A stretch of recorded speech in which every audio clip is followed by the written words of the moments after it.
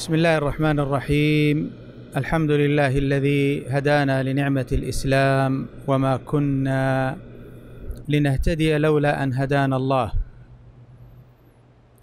والحمد لله الذي جعلنا من خير أمة أخرجت للناس أمة رسول الله وخليل الله محمد بن عبد الله. صلى الله عليه وعلى آل بيته الطيبين الطاهرين وأصحابه الغر الميامين. ثم أما بعد أسأل الله سبحانه وتعالى أن يرزقني وإياكم العلم النافع والعمل الصالح.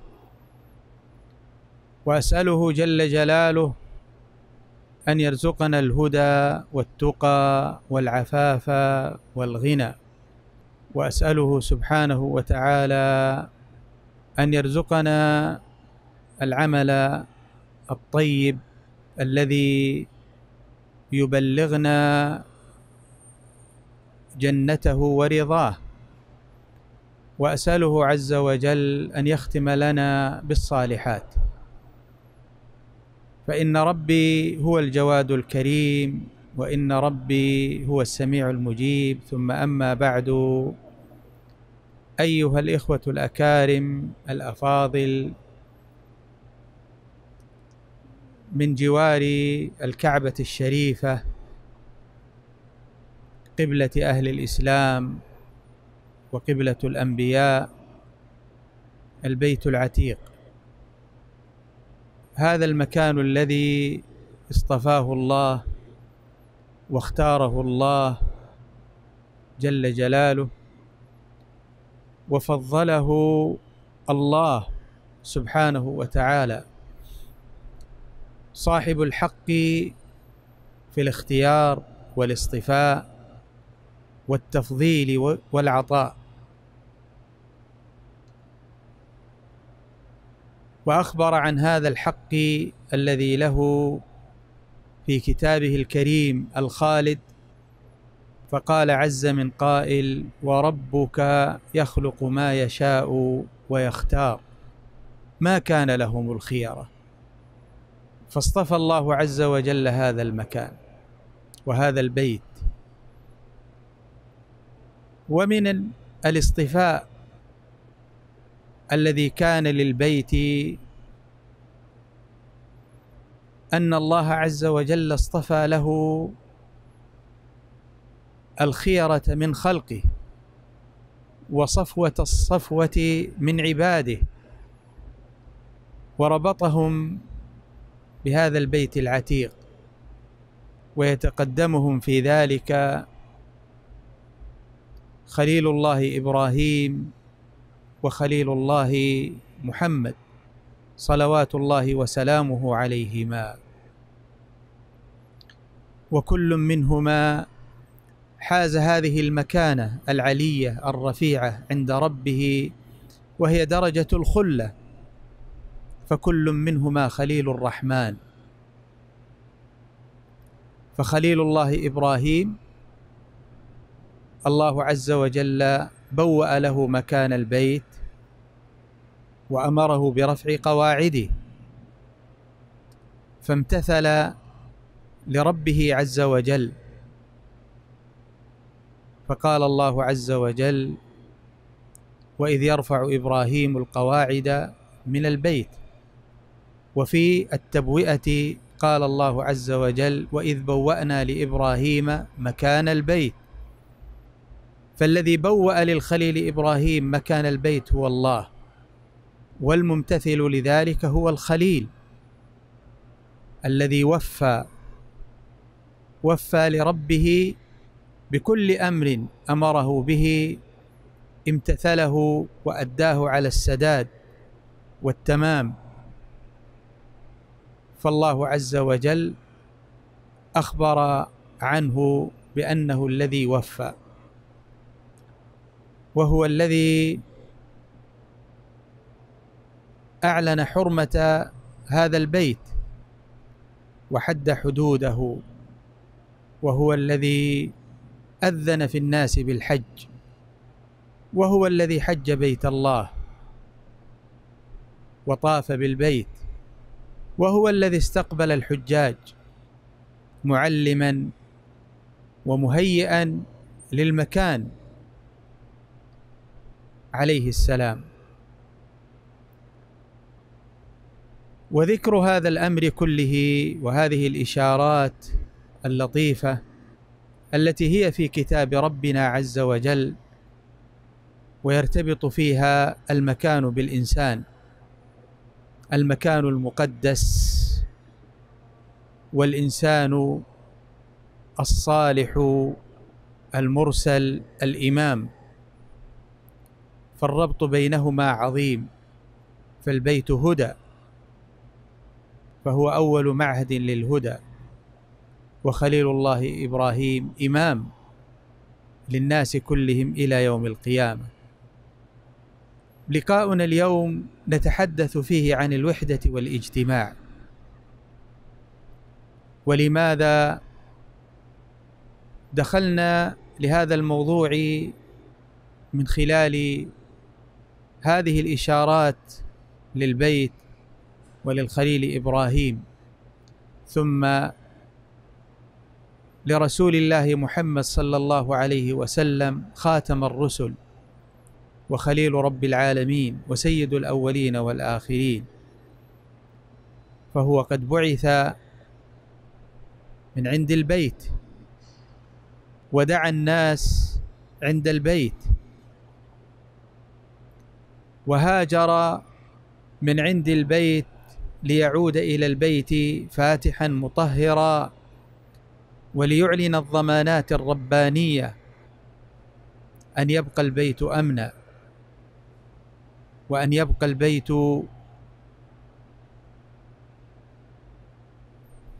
للمسلمين. وهذه ضمانة عظيمة. إن علاقة ذلك بموضوع الوحدة والاجتماع أنه عند رفع قواعد البيت من الخليل إبراهيم ومساعدة ومعاونة ولده النبي الصالح إسماعيل صادق الوعد كانت ولادة هذه الأمة الخاتمة. كانت ولادتها تلك الدعوة من هذين النبيين الكريمين. فكان الدعاء بأن يجعل الله عز وجل من ذريتهما أمة مسلمة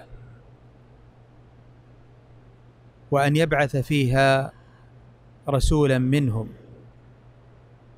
فكانت هذه الأمة الخاتمة وكان هذا الرسول الخاتم رسول الله محمد. صلى الله عليه وسلم. والعبرة هنا في هذا الاسم الذرية المسلمة. وهذا الاسم الذي سمى الله عز وجل به هذه الأمة فهو الذي سماهم بالمسلمين. عندما نتحدث عن قضية الوحدة والاجتماع ونحن ننطلق من هدي القرآن الكريم ومن سيرة النبي الأمين عليه الصلاة والسلام. فإننا نعرض للقضية ابتداء في إدراك هذا الأمر وفق الخبر القراني ووفق الحق الذي جاء به الكتاب. وهكذا إن كان المفزع للقرآن عند كل قضية فكيف بمثل هذه القضية الكبرى؟ ذات الشأن العظيم اجتماع الناس. ونحن نرى ماذا اعترى هذا الإنسان من افتراق؟ وماذا طرأ عليه من نزاع وشجار؟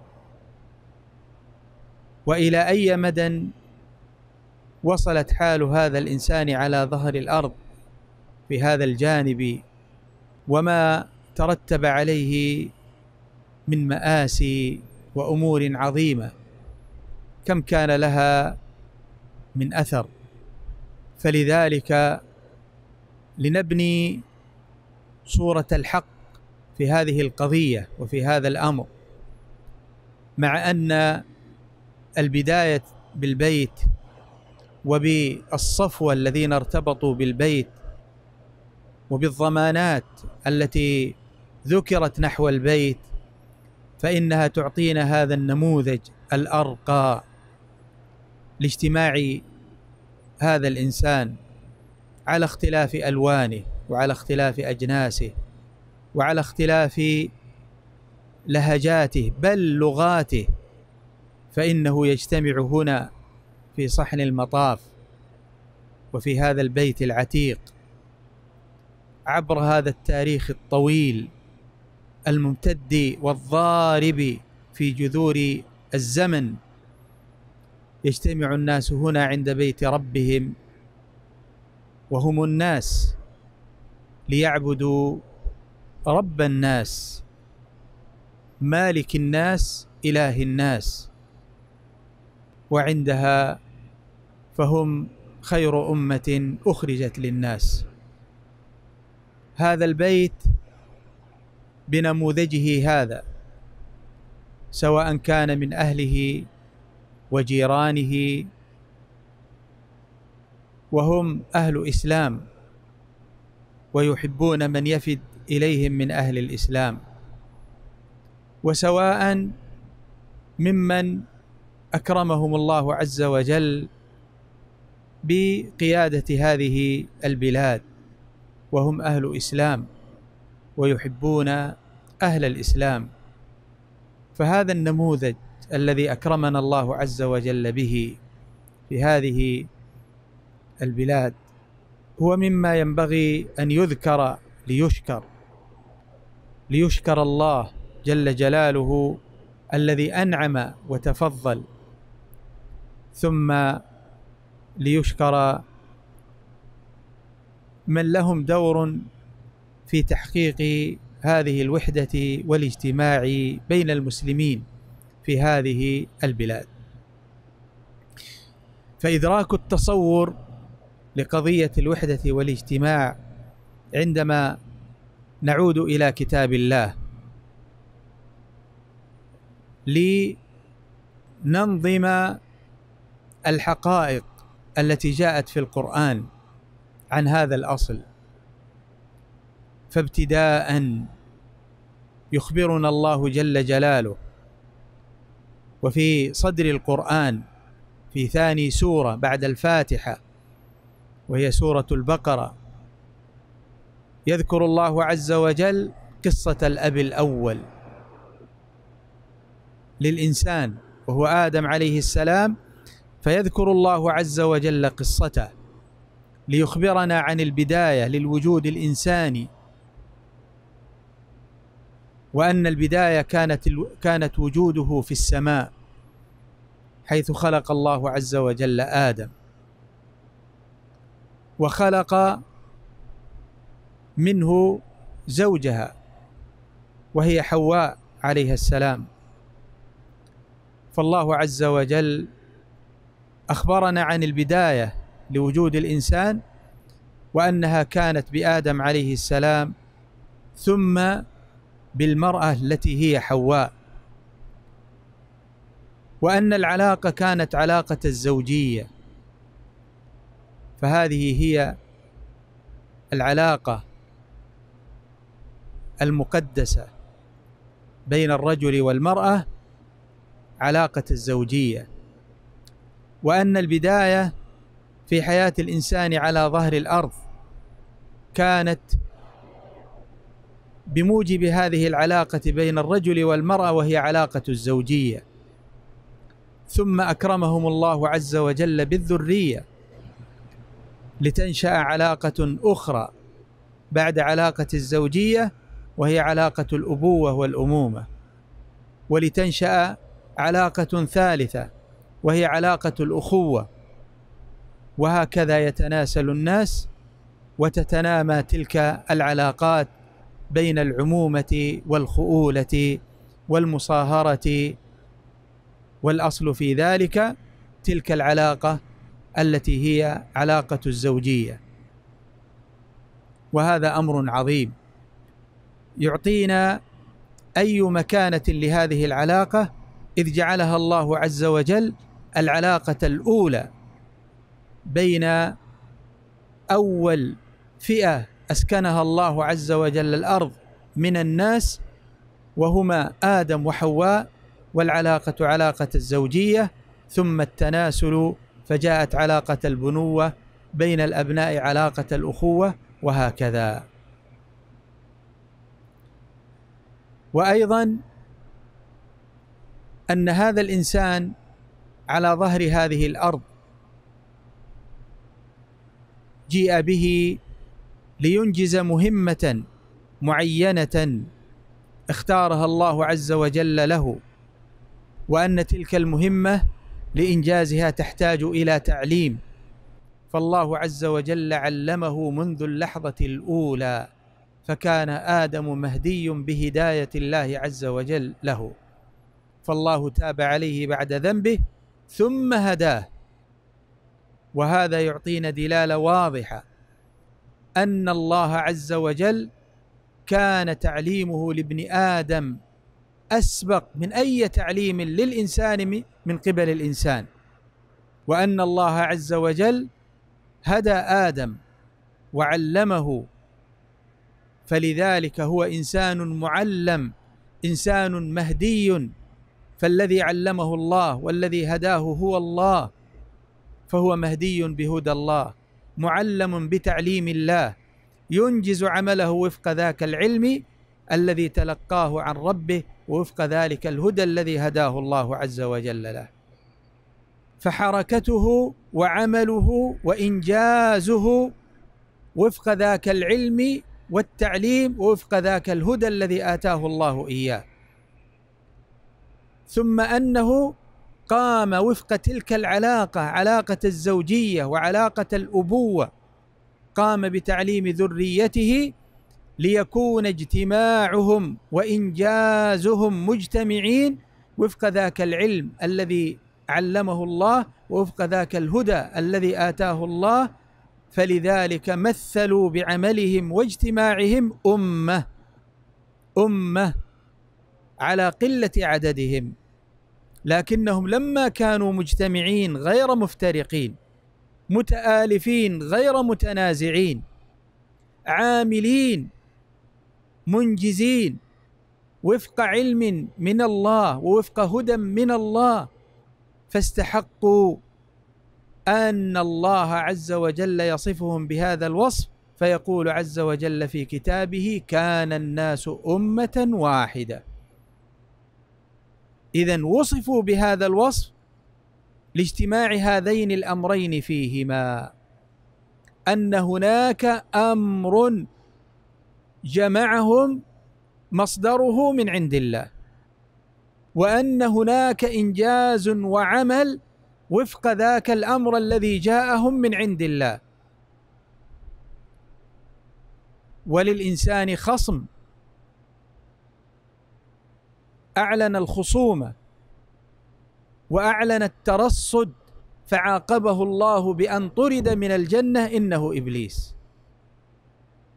وأبقى الله هذا العدو ليحقق مع هذا المخلوق المكرم وهو آدم حكمة الوجود وهي الابتلاء. فأصبح هدف إبليس كله يعود إلى إفساد هذين الأمرين. الأول ذاك الأمر الذي جمع آدم وزوجه وولده وهو العلم الذي جاءه من الله والهدى الذي جاءه من الله. فمقصود إبليس أن يجعل الإنسان لا يتلقى ذاك العلم ولا يعمل وفق ذاك العلم.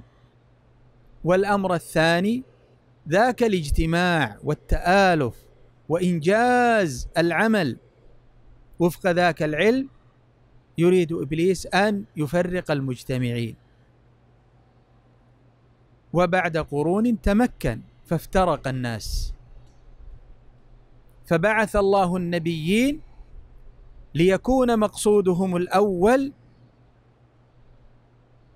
معالجة هذا الطارئ الذي طرأ على بني آدم.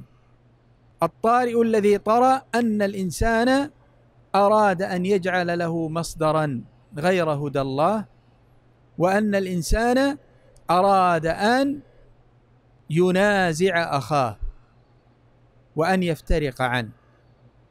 فبعث الله النبيين لمعالجة هذا الأمر.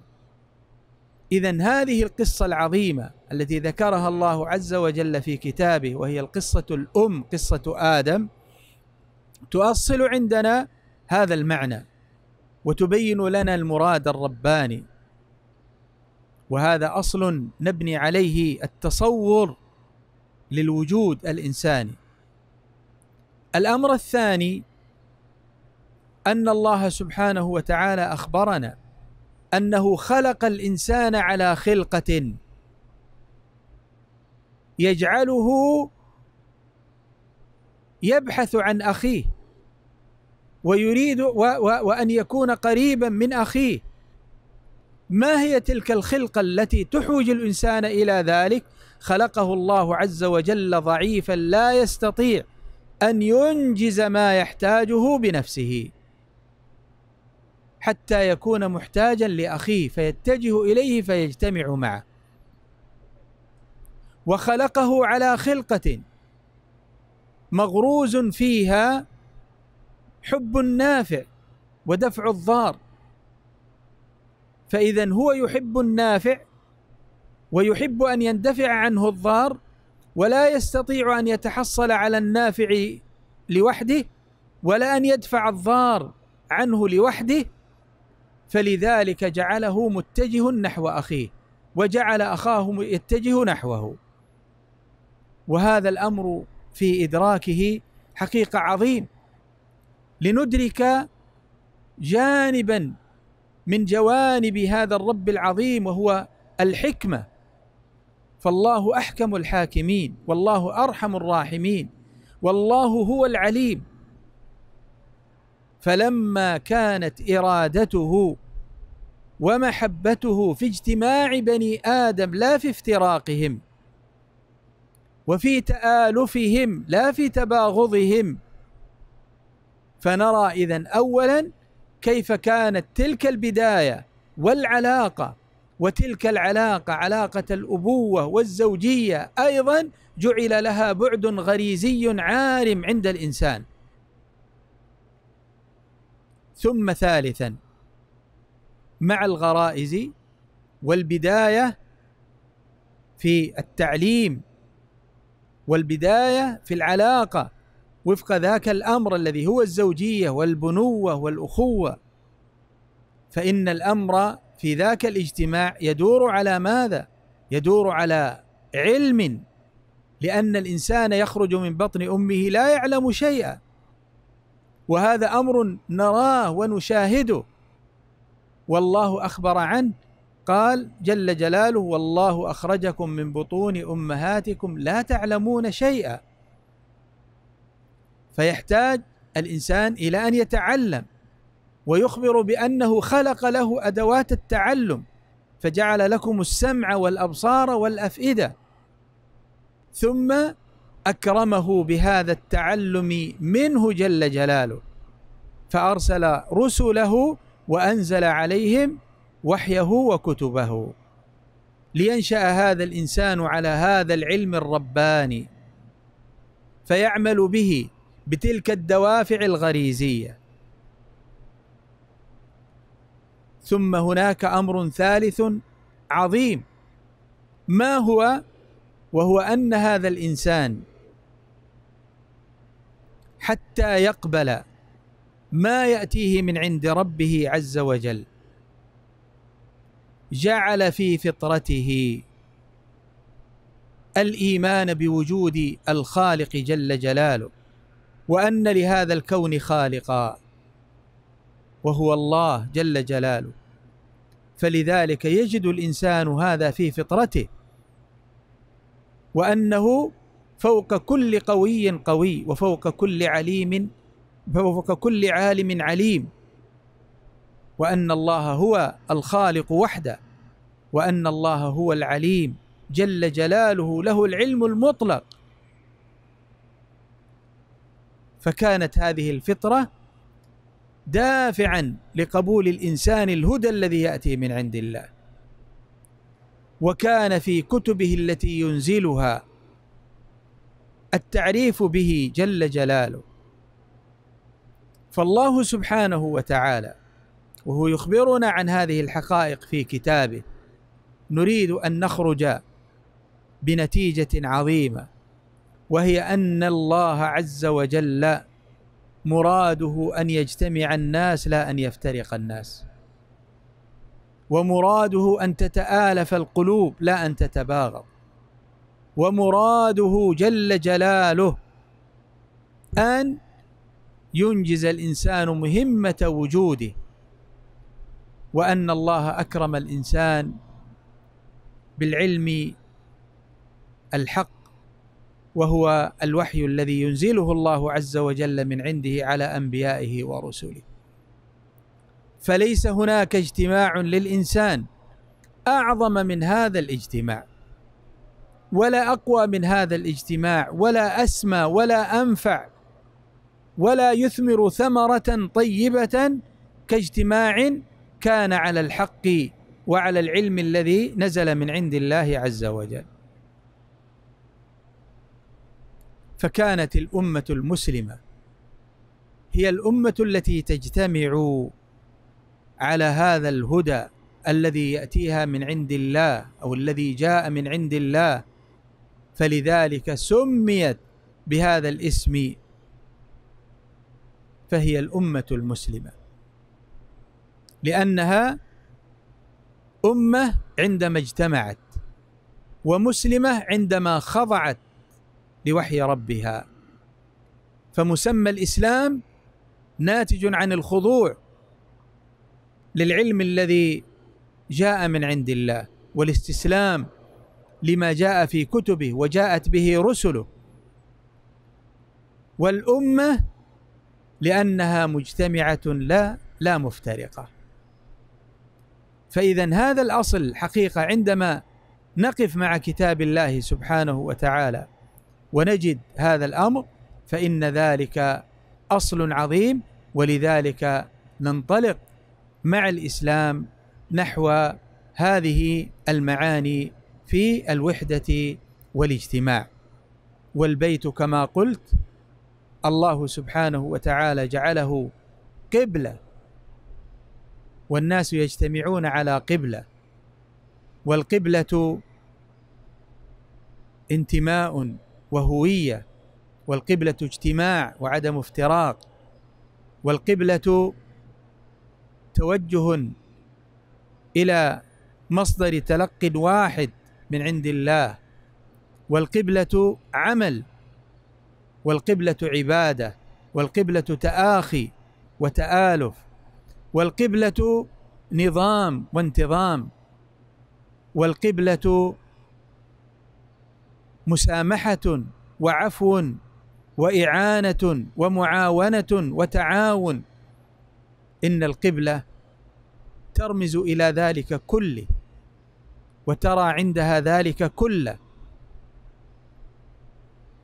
فلذلك هذا نموذج عظيم.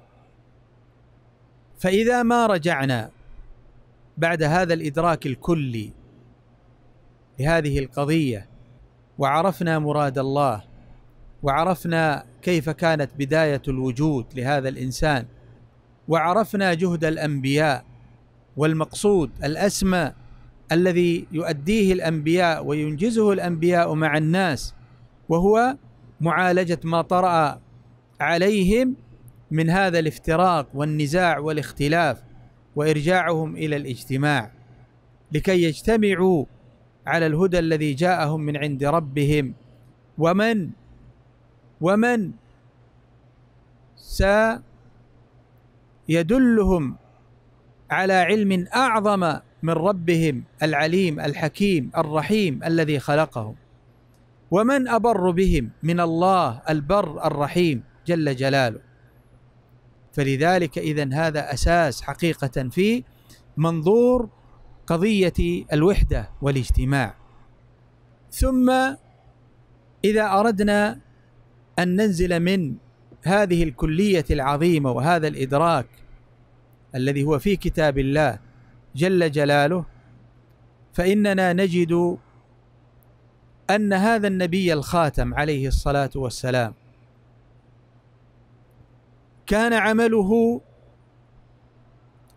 على نفس العمل الذي قام به إخوانه لأن الله قال له فبهداه مقتده. فالعمل هو العمل. السعي في إرجاع الناس إلى مصدر التلقي الوحيد وهو الوحي وإرجاع الناس إلى الاجتماع والتآلف فيما بينهم. فكان ذاك الجهد المبارك منه صلى الله عليه وسلم وحقق الله عز وجل له المراد بتلك الثلة المباركة. أصحابه رضوان الله عليهم من المهاجرين والأنصار الذين مثلوا باجتماعهم مثلوا باجتماعهم الأمة المسلمة. الأمة المسلمة ومثلوا باجتماعهم نموذج الهدى والحق للناس إلى يوم القيامة وتبعهم من قبل هذه الدعوة ودخل فيها وكان من المسلمين وهنا الملحظ المهم جدا أن المنتمي إلى تلك الأمة الاسم الذي يتسمى به ويجمعه مع إخوانه هو مسمى الإسلام فهو المسلم. فهو المسلم. إن كان عربيا أو عجميا إن كان ذكرا أو أنثى إن كان صغيرا أو كبيرا إن كان فقيرا أو غنيا إن كان رئيسا أو مرؤوس إن كان وإن كان فالاسم الجامع لكل هؤلاء هو الإسلام. فكل يقول أنا مسلم ونجد هذا الحسم حقيقة العظيم.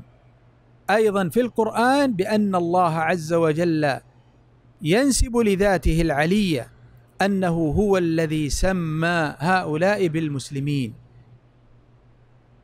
فهو الذي سمانا بهذا الاسم العظيم. المسلمين. فلذلك الإنسان لا يتخلى عن اسم اختاره الله. وكرمه الله عز وجل به. وأعطاه الله عز وجل إياه.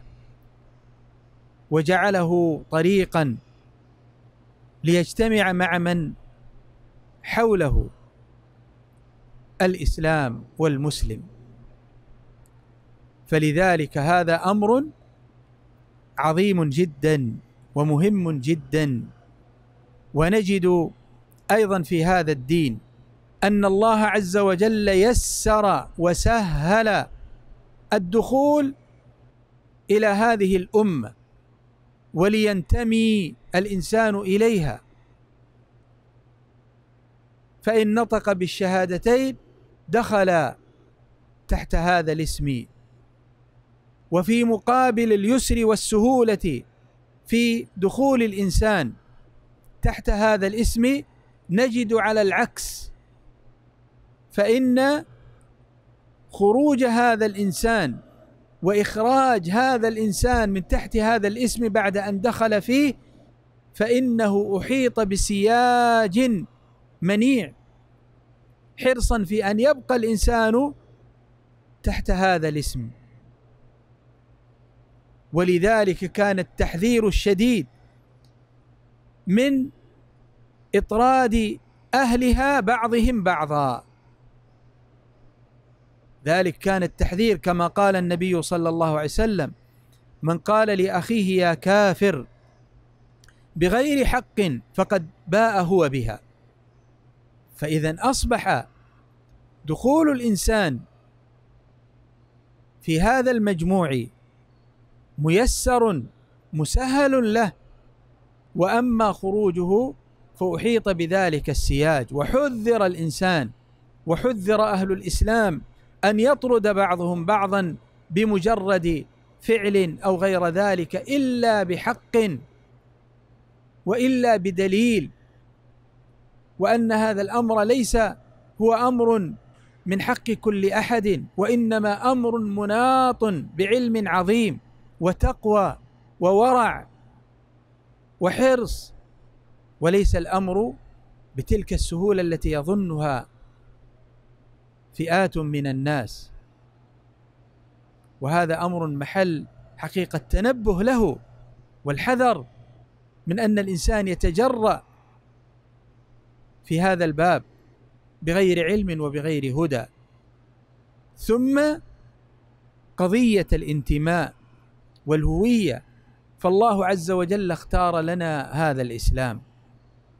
وجعل هذا الدخول عهد.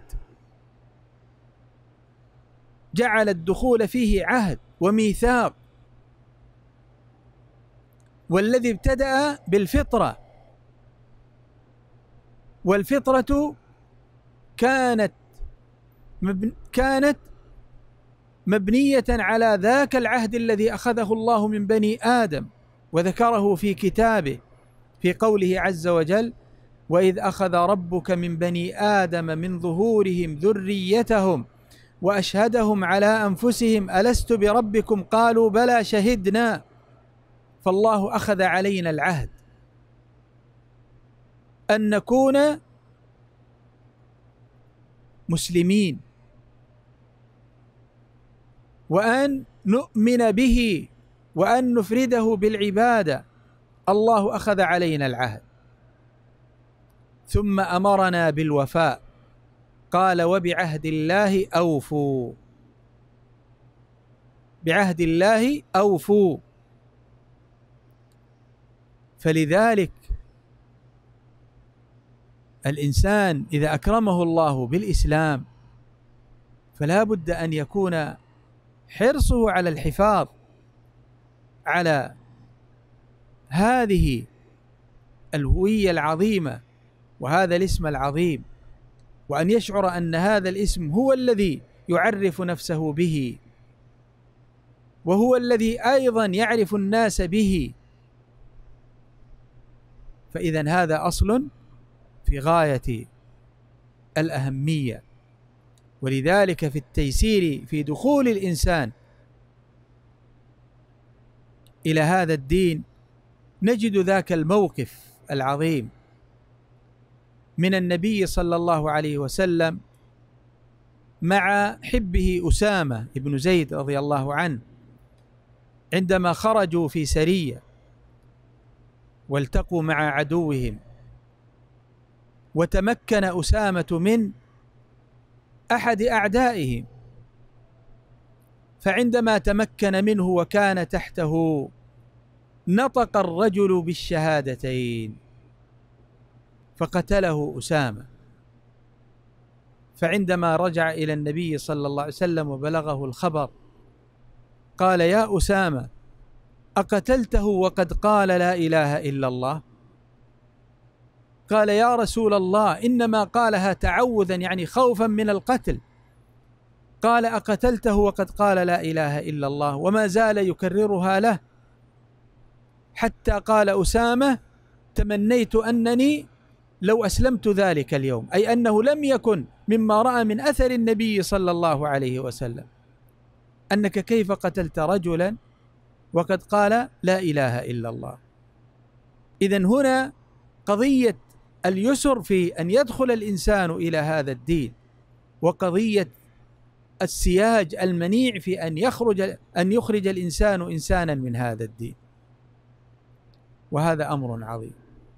فإذا إذا نظرنا إلى هذا الأمر وهذه الأمور إذا ندرك أي مكانة لقضية الوحدة والاجتماع في هذا الدين. ثم إذا نظرنا إلى هذه الشريعة المباركة التي وصفها الله عز وجل بالكمال والتمام فقال عز وجل في سورة المائدة وهي من أواخر ما نزل على النبي صلى الله عليه وسلم إذ نزلت عليه وهو واقف بعرفه في ذلك اليوم العظيم في حجة الوداع ولم يبقى النبي صلى الله عليه وسلم بعد نزولها سوى إحدى وثمانين ليلة ثم مات. قال الله عز وجل اليوم أكملت لكم دينكم وأتممت عليكم نعمتي ورضيت لكم الإسلام دينا. فوصف فوصف الله عز وجل هذا الدين وهذا وهذه الشريعة الخاتمة بأن الله أتمها. فلا ينقص منها شيء ولن ينقص الله منها شيء. وأن الله أتمها فلا يحتاج أن يزاد فيها شيء. وأن الله عز وجل رضيها فلا يسخطها أبدا إلى يوم القيامة. فهذه الصفة العظيمة لهذه الشريعة المباركة الخاتمة. تستدعي أن نقف ونتأمل ما الذي جعل الله سبحانه وتعالى في هذه الشريعة المباركة لتحقيق هذا الأمر وهو الوحدة والاجتماع. فإننا نجد أن هذه الشريعة اعتنت بالإنسان كإنسان في بنائه بناء يهيئه نحو هذه الوحدة والاجتماع مع إخوانه المسلمين. فلذلك نجد أن الشريعة اعتنت أول ما اعتنت بإصلاح فكر الإنسان وعقل الإنسان وذلك بإصلاح معتقده. وذلك ببناء الإيمان. الإيمان القائم على العلم وأعظم العلم العلم بالله جل جلاله. أن يعرف ربه معرفة حقه تعرفه بما له من صفات الجلال والكمال وتعرفه بما له من الإنعام والإحسان. وتعرفه بما له من الحق على عبده المخلوق المنعم عليه من ربه. فالعلم بالله يعرفك بربك الخالق والعلم بالله يعرفك بربك المنعم الرازق. والعلم بالله يعرفك بأن حق هذا الرب العظيم أن يعبد وحده جل جلاله وأن تكون شاكرا له. وشكره بأن تعبده وحده جل جلاله. فكان هذا الأساس في بناء هذا الإنسان لكي يكون بهذا البناء مستسلما لله خاضعا لربه خاضعا لأمره قابلا لما يأتيه من عند الله. فكان هذا الأصل في صلاح هذا الإنسان. ثم إصلاح تفكيره بأن يكون هذا الإنسان بعقله السليم. يسعى لطلب العلم الحق العلم النافع العلم الذي يجعله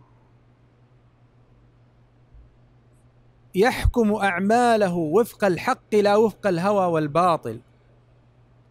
وأن أغلى ما أغلى ما يصل إليه هو أنه يصل إلى الحق وأن يعلم الحق وأنه لا يعدل هذا الأمر شيء من متاع الدنيا أنه يبني في عقله العلم الحق. فالشريعة الخاتمة في إصلاحها لهذا الإنسان تصلح تفكيره بهذه الوجهة بطلب العلم الحق الذي ينفعه لا الذي يضره. ثم بعد ذلك تصلح حاله في أمر العبادة لله وحده وتبنيه فيها بناء إلى أن يصل إلى أن يعتاد ذلك الأمر ويصبح عادة له. فأحب الأعمال إلى الله أدومها. والصلاة ديمة. وعمل الخير للإنسان ديمة. فإذا تصلحه في هذا الجانب. أمر العبادة. ثم تصلحه في تزكية نفسه. وتتعامل مع هذا الأمر تعاملا عظيما لأن هذا مكمن الخطر على الإنسان. نفسه الأمارة بالسوء. وأن الذي آمن بالله عز وجل ربا خالقا منعما والذي آمن بالله عز وجل الها معبودا اوحدا. فإنه سيسعى والذي أصبح تفكيره سليما يسعى لطلب العلم الحق فأول نفع لذلك كله يعود على نفسه بأن يسعى إلى تزكيتها وإصلاحها. قد أفلح من زكاها وقد خاب من دساها وزكاؤها بما سبق الإشارة إليه. ومتى ما زكت النفس وصلحت هذه النفس فإن على الإنسان أن يصادق الحق وأن يرافق الخير. أن يصادق الحق في طول عمره لا يتوقف عن البحث عن الحق ويكمل ما عنده من العلم تحت ميزان الحق. ولا يتوقف عن فعل الخير. فلذلك هو يصادق الحق ويلازم الخير. فالخير من شأنه في كل عمره والحق مطلبه في كل حياته. فهو يزداد في كل يوم بل فيما هو أقل باعتبار الزمن. فهو يزداد بين لحظة وأخرى لأنه لا يتوقف عن طلب الحق. ويزداد أيضا خيره لأنه لا يتوقف عن فعل الخير. فهذا شأن المؤمن. ثم يتعامل مع ذلك كله. تعلمه هذه الشريعة. أن يتعامل مع نفسه بالحزم فهو ملاك النجاح أن يكون حازما مع نفسه. فاذا تصلح معتقده بالإيمان وتصلح تفكيره بأن يكون شأنه طلب العلم الحق وتصلح حاله وعمله بالعبادة. وتصلح نفسه بالتزكية. لتجعله مصادقا للحق ملازما لفعل الخير وأن تجعل الحزم شعار له في التعامل مع نفسه. فاذا هذه الشريعة المباركة. التي تصلح الإنسان هذا الإصلاح وتخرج الإنسان هذا الإخراج وتنبته هذا النبات الحسن فيكون ذاك المؤمن العالم المؤمن ويكون ذاك الإنسان المسلم زكي النفس طيب العمل ويكون ذاك الإنسان المسلم الحازم الجاد الذي يدرك قيمة الحياة. اذا تلك الشريعة تبني الإنسان ذاك البناء. ثم تسعى الشريعة لتعميم ذلك ليكون الناس كلهم وفق ذاك النموذج الأول وفق ذاك البناء. فإذا ما تحقق فإنها تجمع بين هؤلاء تحت الجامعة العامة وهم أهل الإسلام أمة الإسلام. وفي هذا الجانب الثاني فإننا نجد كذلك في شريعة الله عز وجل كيف جعلت ما بين المسلم والمسلم علاقة سميت بالأخوة. فلها ارتباط بتلك الغريزة علاقة الأخ بأخيه. فسميت هذه العلاقة بهذا الاسم. الأخوة في الإسلام. الأخوة في الإسلام.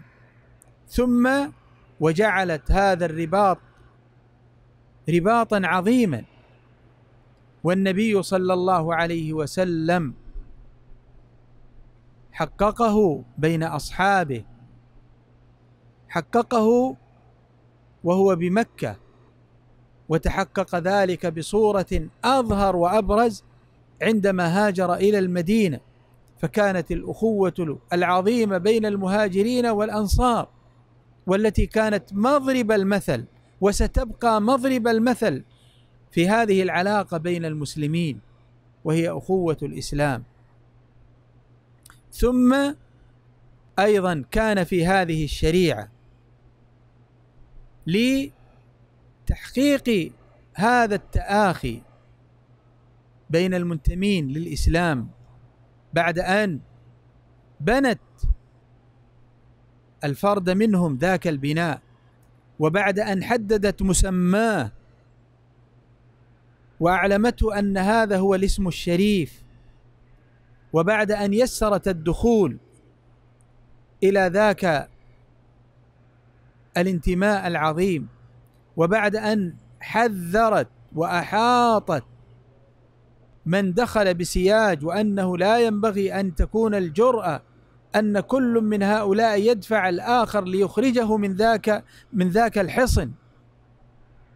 وحذرت من هذا الأمر فأرادت أن تجعل أيضا أمرا يجعل هؤلاء الذين انتموا إلى هذا الدين وتسموا بهذا الاسم المسلم المسلم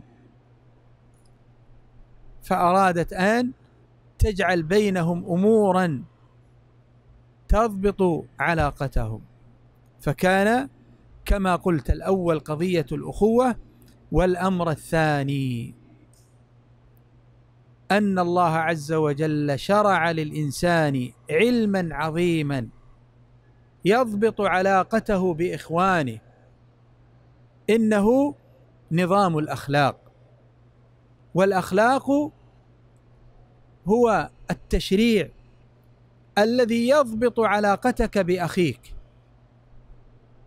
فكل تلك الأخلاق هي ضابطة لتلك العلاقة التي بينك وبين وبين إخوانك.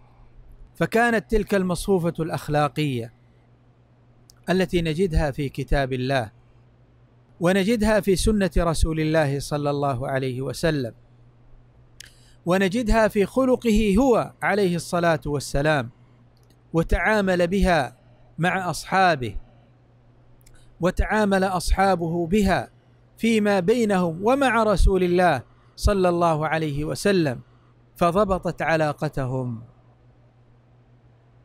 من الرحمة والصدق والأمانة والوفاء وغيرها من تلك الأخلاق الحسنة.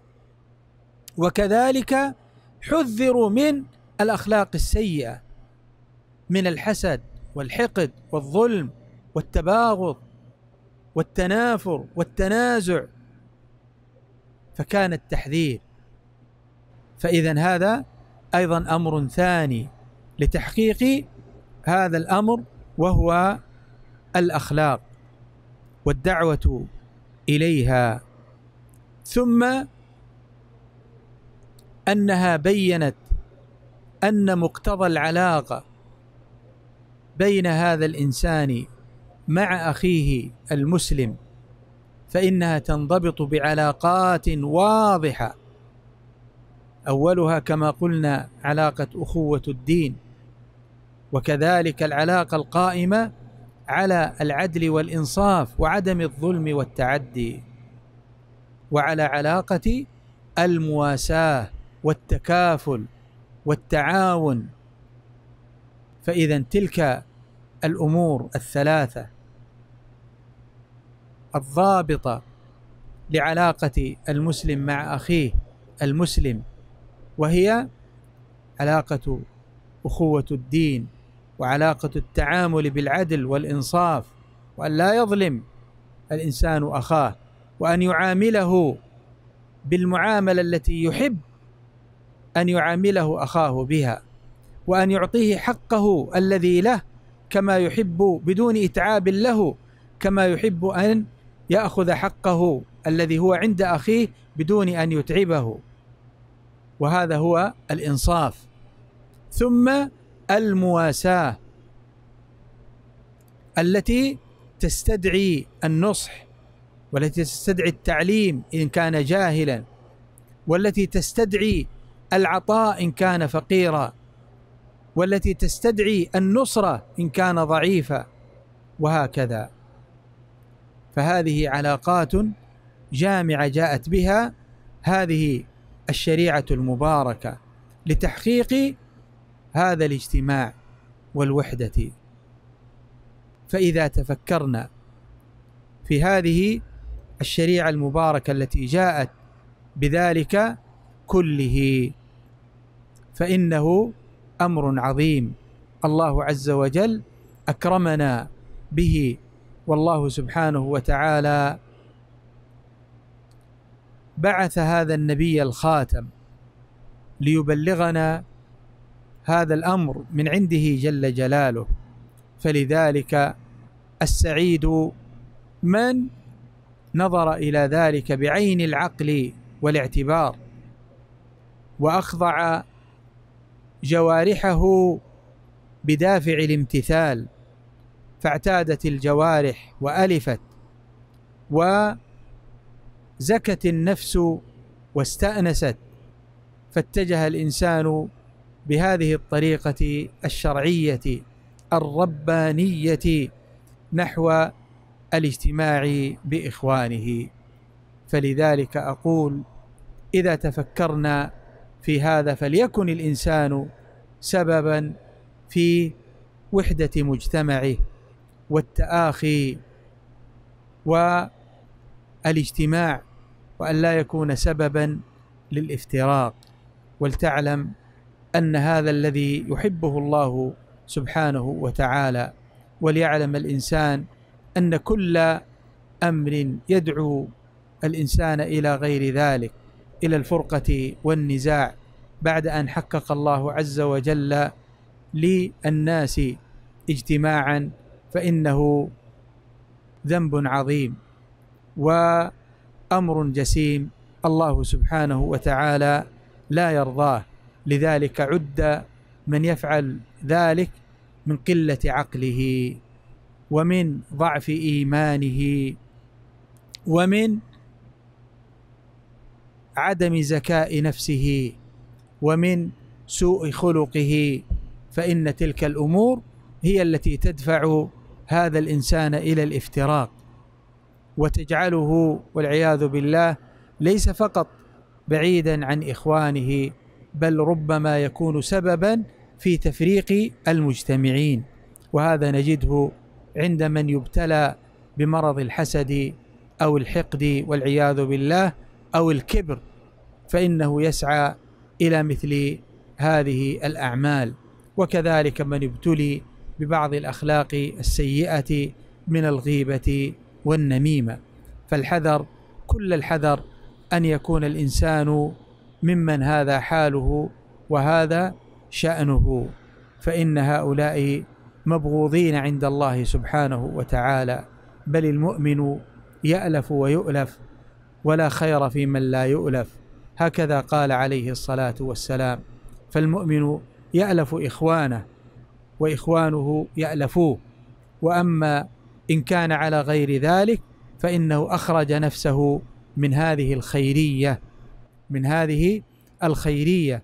فليكن هذا شأنك مع إخوانك. ثم أيضا نجد في شريعة الله عز وجل أن الإنسان يتعامل مع إخوانه بتعامل الصبر والعفو والصفح والسماحة فإن هذا أمرا كثيرا ما يكون سببا في تأليف القلوب لأن الإنسان ضعيف ولأن الإنسان يخطئ فلذلك إن عومل بهذا التعامل استدامت الأخوة.